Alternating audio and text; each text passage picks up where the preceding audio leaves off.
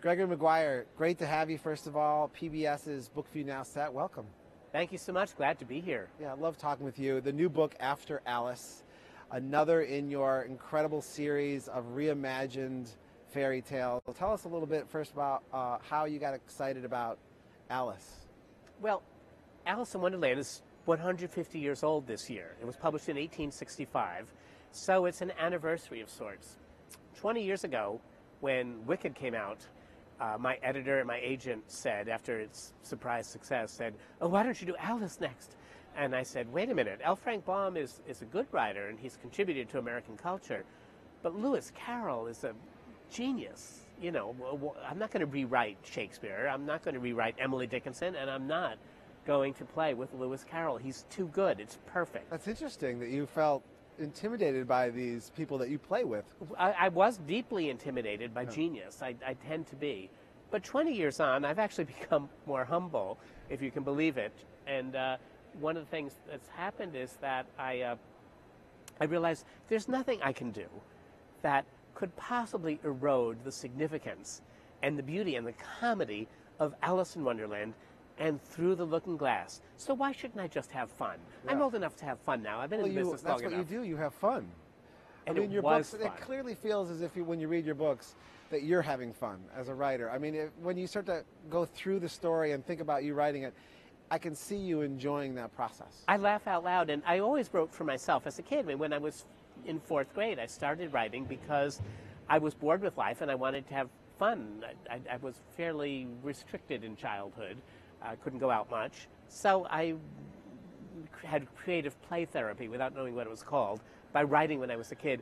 And I still enter my work zone with a spirit of play. Now, the interesting thing about After Alice is that, as with a lot of books that I, that I do, if there's something about the original that still speaks to me in the way that, say, old music, the music of your teenage years, still speaks to you even when you're 60 or 70 or 80, uh, what I do is I try to look at it and find a little strand of the author's original DNA, narrative material, that is available for me to tug at. And in this instance, Alice in Wonderland seems all alone in her adventures. But there are two things that we know about her from Lewis Carroll. One is that she has an older sister who is reading to her on the, on the riverbank, a boring book. And the second is, in chapter two, Alice thinks, I don't feel like myself, but if I'm not myself, who can I be? Well, I'm not Ada because Ada has ringlets and my hair goes straight. Well, here's Lewis Carroll's DNA secret message to Gregory Maguire 150 years later. He's saying, Alice has a friend, and her name is Ada. So, what is happening to Ada on the day that Alice disappears, and what is happening to her sister who loses track of the girl she's supposed to be babysitting? After Alice is how both of those characters go after Alice.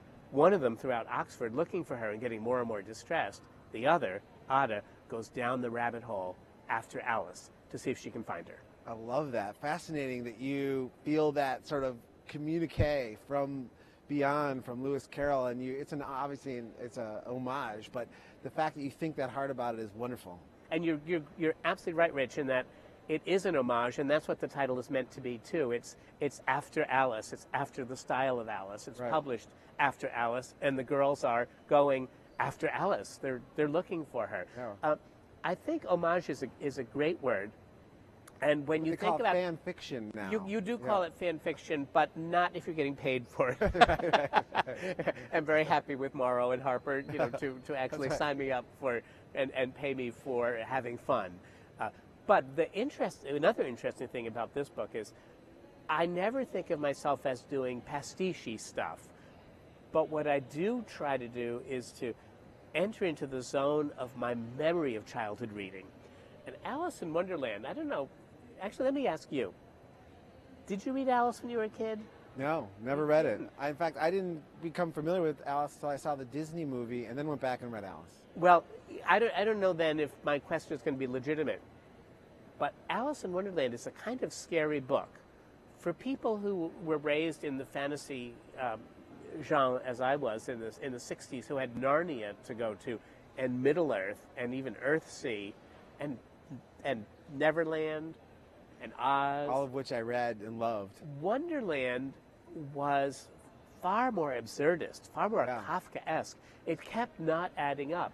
And as a child reader, you read to add things up because you need to know the secrets of the world more than you knew before. Right. Af- Alice in Wonderland does not give them to you. You have to surrender yourself to it. surrender yourself to it, and that's scary for kids. Yeah. So I tried to actually plug into some of that subterranean terror. Right. What if we do live in an absurdist universe? It feels like it to a kid, but what if you grow up as an adult and find, oh, that was true? Oh, Lewis Carroll was actually sending bulletins from the front. Adult life is absurd. I love that. So when you d- decide to dive in, obviously this one you had to get over the hump and say, Lewis Carroll, genius or not, I'm coming. Absolutely. That took some time, but there you are. That whole process, though, of embracing another fairy tale. I mean, there's a lot to choose from. Do you just sort of wonder, or where do, when do you, what does it come? How do you say this is the one? I'm going there. Well, I, I actually resisted it for a long time uh, until the notion of the anniversary came up. Yeah. And then I thought, well, it does, it does make sense. Maybe Lewis Carroll is, is talking to me. Uh, and then I began to realize that we, we were reaching the anniversary of Darwin, of, of the great uh, Oxford debate about evolution, which happened just a year or two before Alice in Wonderland was published. And I think may have had some impact on Lewis Carroll being able to think about talking animals and being able to think about Alice herself changing from one kind of creature to another. Do you remember the scene in Alice where the du- they're at the Duchess's house and she's rocking the baby and then it turns into a pig Yeah, and, it, and it runs away in the forest? Yeah. That is like that is like so scary. That's so Chirico. That's so uh, that's so Salvador Dali. Exactly. It's so 20th century and surreal. And I wonder how much of that came from the notion of backwards evolution, Yeah. thinking about evolution in the first place. I mean, Lewis Carroll was very smart, and he was plugged in as an Oxford Don. He was plugged into what the the leading crest edges of intellectual thought were. Yeah. And it happened right there in Oxford. How could you not slice the things together? Oh, I love that. What I love about the also the other element of this is that you're each of these artists that you're reimagining, that you're playing with, have their own style. You mentioned Salvador Dali. I mean, Lewis Carroll was who he is. L. Frank Baum was who he was. You sort of helicopter into their world and sort of take stock and set up camp and then start to play. But it's always within their pastiche, their world that you're playing within. Well, what I, what I really try to do is two things. I try not to write skits for Saturday Night Live or for the old Carol Burnett show. I mean, I Right. try not to make fun of the original because the only reason I'm doing it is that I revere the original. It still speaks to me. As I said, my parents were strict. We actually didn't listen to pop music when I was a teenager. Uh-huh. So I can't go back to that and think, ah, those were the palmy days. Yeah. What I did was go to the library and I read these things.